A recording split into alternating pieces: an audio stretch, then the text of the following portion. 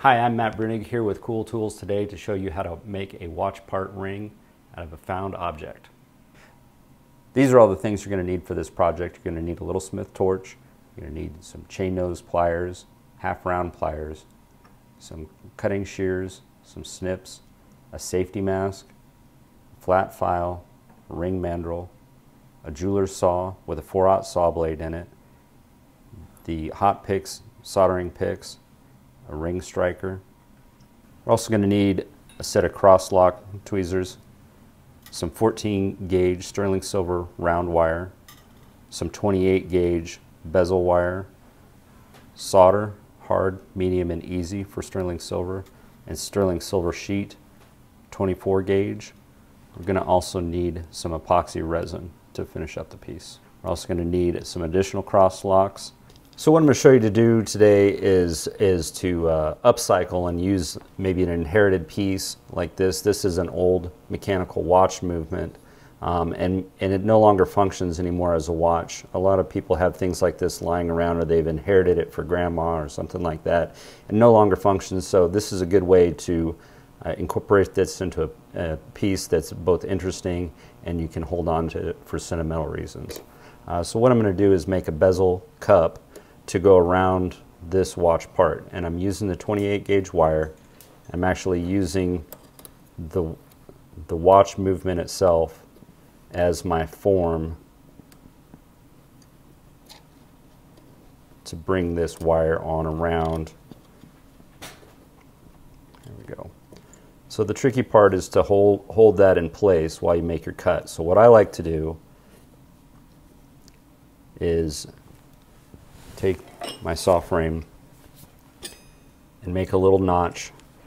The end of the bezel wire is right here. I'm going to make my notch a little further this way because we're going to stretch it out a little bit on the ring mandrel in order to fit. I'm just going to make a notch like that rather than cut all the way through. And now take my flush cutting snips and cut right where I made that notch with the saw blade. I'm now using the sanding disc on the end of the flex shaft. I'm just flattening where I made my cut.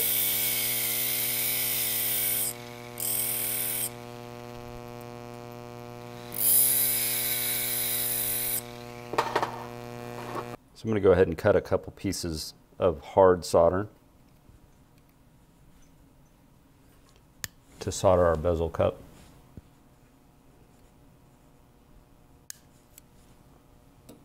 Dipping that in boric acid and alcohol.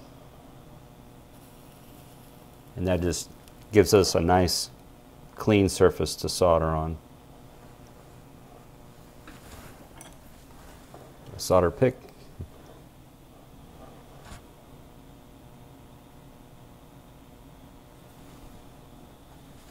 And now a little green flux right at the seam to get it going where we need it to solder.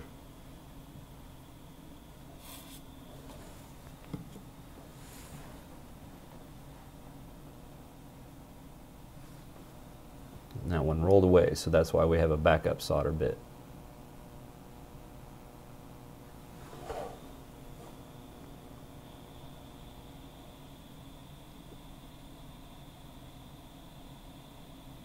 You notice that to adhere the solder, I tend to go with a fluffy flame and then tighten up the flame to, to solder because this thinner bezel wire is a little bit trickery.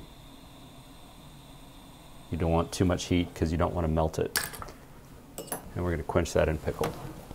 So we've got our bezel shaped pretty well around our watch movement and I'm going to make it nice and round using the mandrel and a hammer.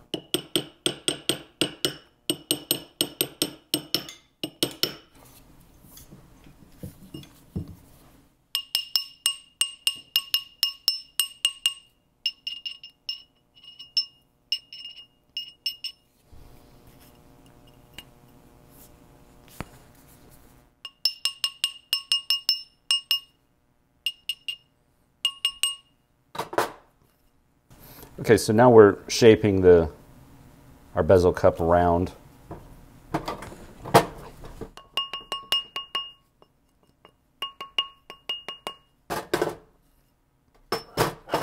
And use the watch movement to make sure that it's a good fit. You want, to, you want it to be snug, but not, not really tight to where it gets stuck in there. And that looks like a pretty good fit. We're going to take our file, file it flat. So what I'm doing is I'm cleaning up the very edge of this bezel cup so that it's going to have a nice area to solder to the 24 gauge flat stock sheet.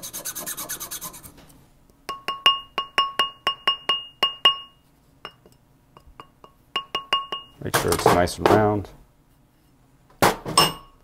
Now we're ready to solder this onto the flat stock. I'm going to cut off a small, smaller piece of this uh, flat stock sheet. So it's going to be a little bit easier to put up into the crosslock tweezers to solder our bezel cup onto it.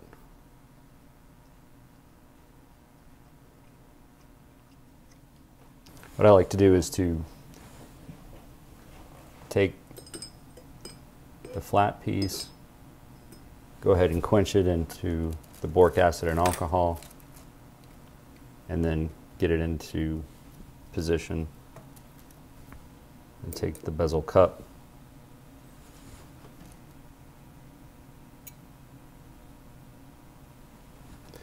You can kind of look around make sure that it that it's not that it's a good seat and I think what I'm going to do is I'm going to turn this piece over because I can see a little bit of light between the bezel cup and the the base.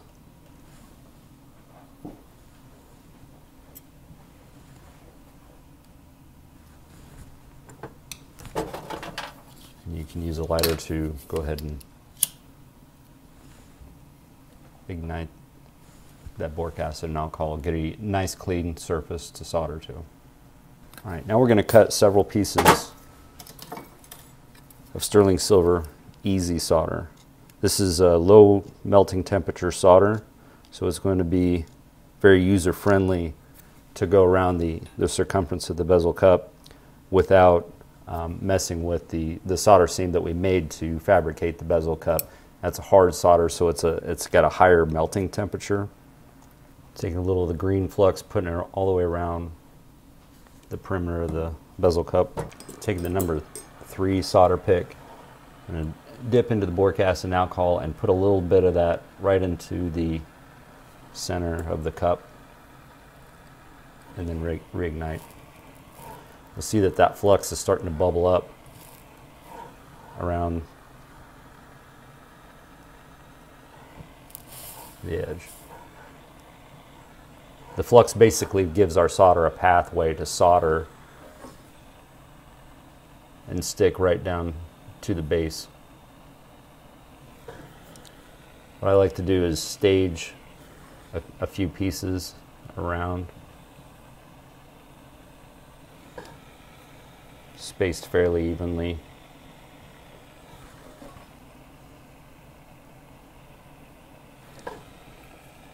And this, this whole staging process is, is slightly warming up the metal.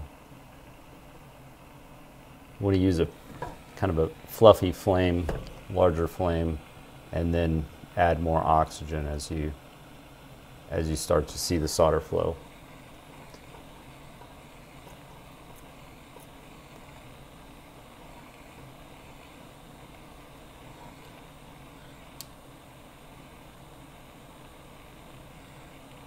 and all once it starts to flow just like that. Also what I'm doing is using the back where it's a little bit off center here.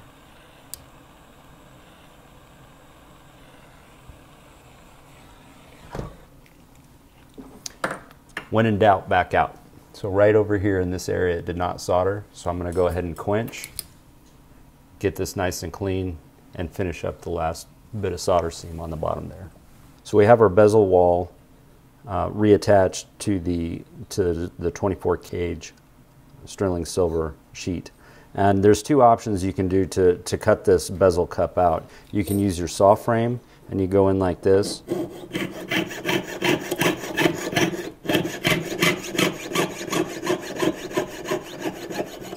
The nice thing about using the saw frame is you can get very close to the bezel wall, but if you prefer to, to go in with a pair of snips, you can do that as well, and you can just basically cut like this. You do have to be careful not to cut into the bottom of the bezel wall, and you are going to have to do a little bit more filing at the end of this process because there's usually a little bit more left over. Now to file away the excess, you just use your heavy flat file.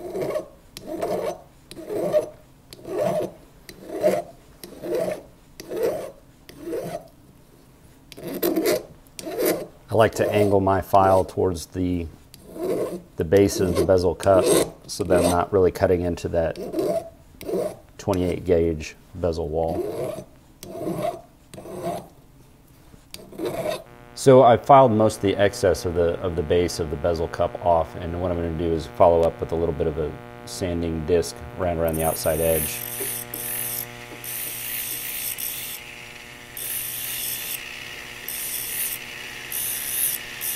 All right, so for the, the band of this, for this bezel cup, I'm going to do one like this. It's kind of a wrap around type of a band. Um, it doesn't you know, you can, you can make it intersect real evenly right in the middle if you like. Um, I kind of like to do this little bit of an off, offset look just because it gives the, uh, the ring a little bit more flair. So that's the, the style we're going to do. Um, of course, you can, there's, there's lots of different options of what you can do as how you want to make it into a ring. So I'm just going to take the mandrel and bend that 14 gauge wire on around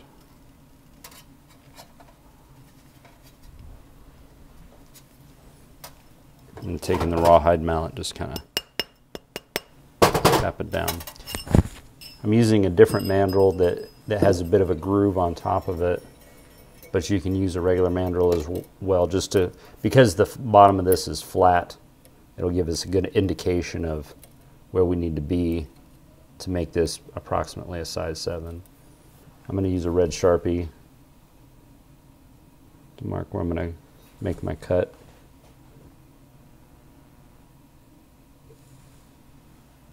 I'm taking the flush cutting snips and cutting at kind of an angle because we're going to offset it.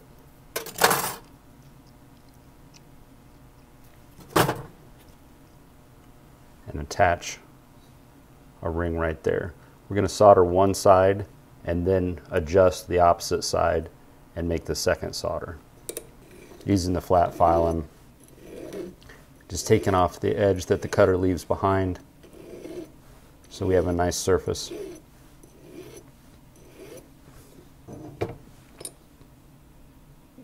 to weld it to. Now to attach the ring base to the to the bezel, I'm going to use the medium solder because it's a a little higher melting temperature than the easy solder. It's going to be a good good weld to the side of the bezel cup and less likely to break in the future. I'm going to cut two paces in case I drop one.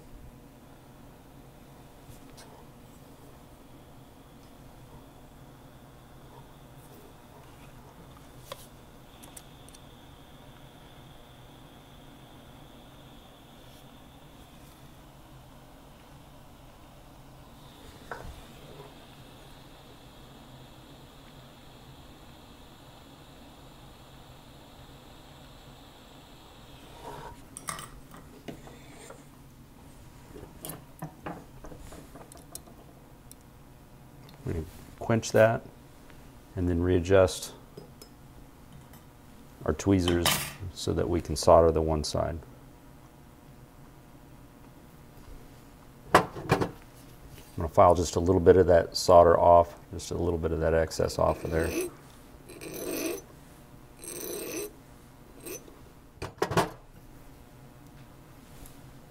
Rinse again in the boric acid and alcohol.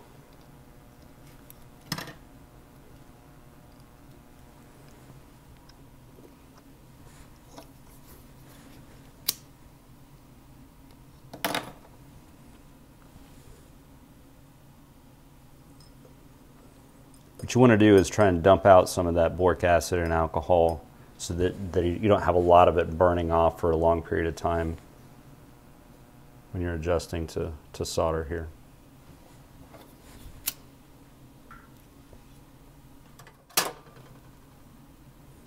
The more full that the cup is with, with that denatured alcohol, the longer it's going to burn.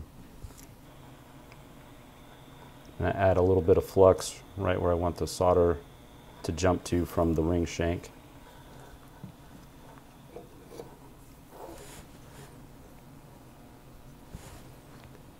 This is where it gets a little tricky.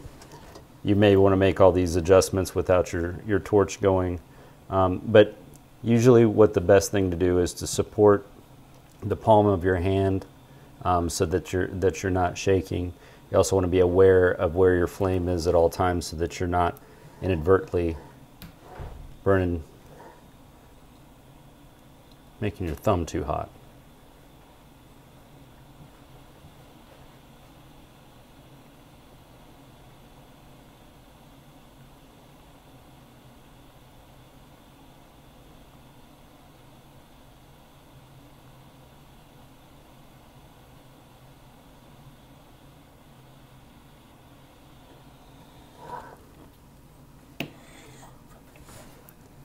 Quench and readjust. So what I've done is I've adjusted, we have the one side soldered, and I've adjusted the other side here, and we're going to solder the opposite side to the to the side of the bezel wall. Add a little more boric acid and alcohol right here, and then follow up with a little flux.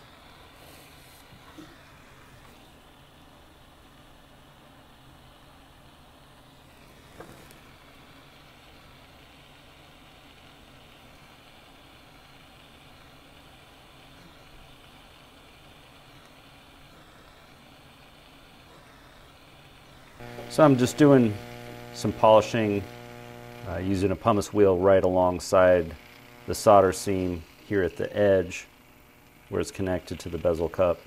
And I'm going to follow up using a sunshine polishing cloth.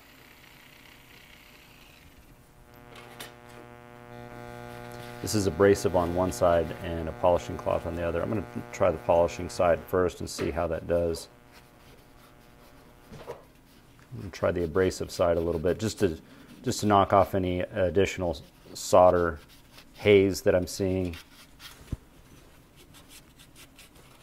Using a polishing cloth is nice because it doesn't leave a lot of uh, rouge compound behind. It's a lot less to clean up and you get a, a really nice finish. I feel that sterling silver, the best way to, to keep it bright is just to use a polishing cloth on it. Often if you use um, some of the liquid cleaners, they can have an adverse effect uh, where it doesn't look as bright, kind of looks a little bit chalky at times. I'm going to follow up with this high polish cloth that's made by Brilliant. All right, we've mixed, we're mixing two uh, parts of this uh, epoxy resin. It's uh, basically one to one, so you want to just make two little beads or piles of, of the stuff equal size, and then you can use a toothpick or whatever you like to, to mix it up. You want to make, make sure that you mix it up thoroughly. And this is what's going to hold our watch piece into our finish ring.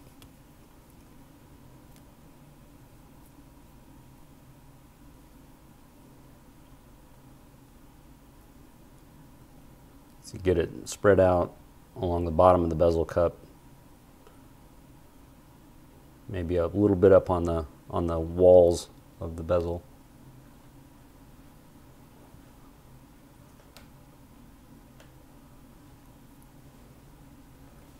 And then take the watch movement and press it into there.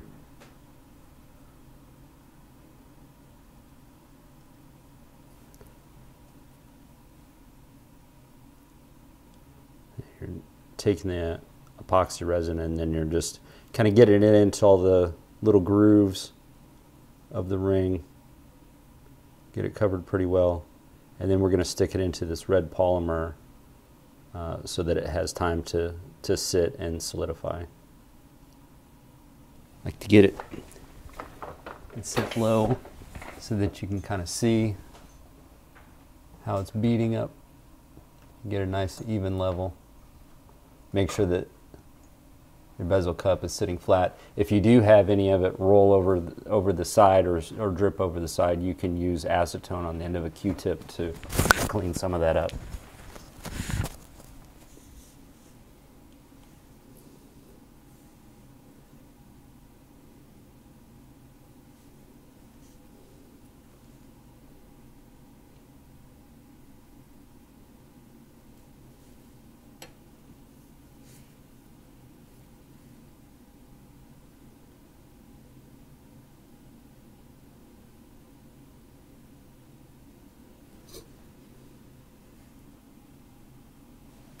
You can set that aside for a while. Make sure that everything is, is drying properly. If you notice that there's any air bubbles, you can also follow up with it using a heat gun or a source of heat of some, even a hair dryer, and that'll draw some of the bubbles up and out of the, uh, out of the epoxy resin.